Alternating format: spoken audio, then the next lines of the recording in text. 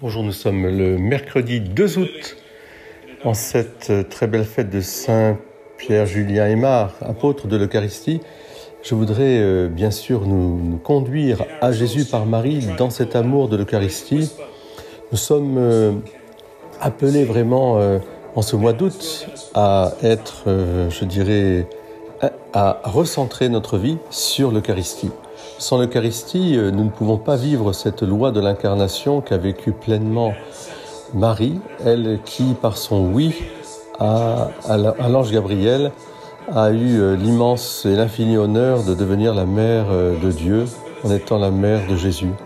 Elle a conçu dans son sein ce Fils de Dieu, devenu homme pour nous sauver.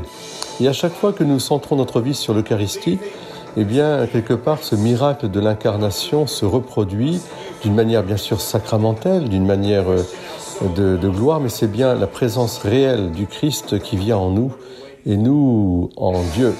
Alors je pense qu'on peut, avec Forking Country, euh, chanter et être dans l'action de grâce.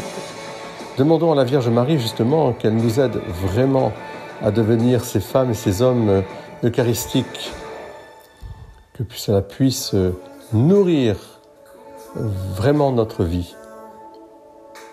Qui a Jésus à tout, qui est dans la communion, communion avec Dieu, communion avec les, hommes, à tout.